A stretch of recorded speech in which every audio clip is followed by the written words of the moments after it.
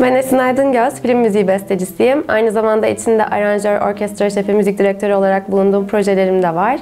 Los Angeles'ta yaşıyorum. Wednesday maceram pandemide başladı. Beraber çalıştığım bir kadın prodüktör var, Alana da Fonseca diye. Onun çeşitli projelerinde ona yardım etmiştim. O da çok başarılı bir e, şarkı yazarı ve aynı zamanda hani onun background'u biraz daha pop, hip hop, singer, songwriter gibi.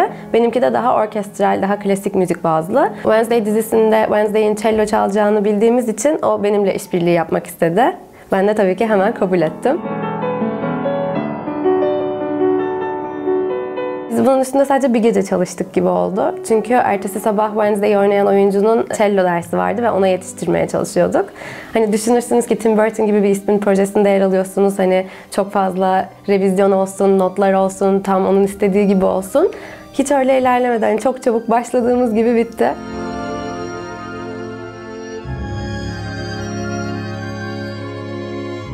Zamanınızın olmayışından kaynaklı bir adrenalin var tabii ki. Ve onun getirdiği ilhamla harika şeyler ortaya çıkabiliyor. Painted Black da böyle oldu.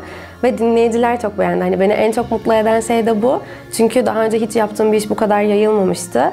Bu aranjman çıktığında böyle çeşitli dansçılar, cellistler, illüstratörler hani ondan ilham alıp yeni şeyler ortaya çıkardı. Onu görebilmek bir sanatçı için en büyük hediye.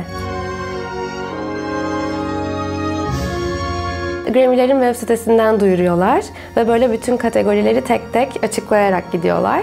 Bulunduğumuz yerin saatiyle sabah 7'de ya da 8'de açıklanıyordu. Ama hani o kadar fazla kategori var ki sanıyorum 80'in üstünde. Zaten ilk 10 dakikada açıklanmaz bu diyerek saatimi 10 dakika daha erteledim ve uyumaya devam ettim. Ama hadi izleyeyim diye açtığımda zaten bizimkisi açıklanmış ve Alan da bana güzel haberi yazmıştı. Çığlık attım. Otobüsteki bütün orkestra uyandı. Sonra da beraber kutladık.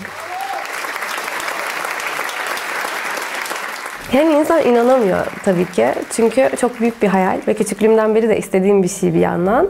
Ee, ama hani ne kadar çalışırsanız çalışın garantileyebileceğiniz bir başarı ya da adaylık değil. Çünkü hani tamamen o sene çıkan diğer projelere bağlı. O sene oylayan diğer hani asil Recording Academy üyelerinin fikirlerine bağlı ve çok sübjektif bir şey müzik. O yüzden hani böyle bir şansın bu kadar erken bir yaşta 30 yaşındayım başıma gelmesi tabii ki çok mutlu etti. Burada hayalim EGOT. EGOT şey hani Emmy, Golden Globe, Oscar, Tony, Grammy hani hepsini aldığınız senaryo. Hani öyle bir şey olsun tabii ki çok isterim. Çok fazla başarılı Türk müzisyenimiz var. Bunu hem Berklee College of Music'te okurken gördüm. Hem Los Angeles'a taşındığımda tanıştığım diğer müzisyenler sayesinde keşfettim. Hani umuyorum ki bunu hedefleyen herkes bir gün bu mutluluğu yaşayabilsin. Hani gençlere en büyük verebileceğim öğüt sevdikleri şeyi bulmaları ve onun üstüne gitmeleri.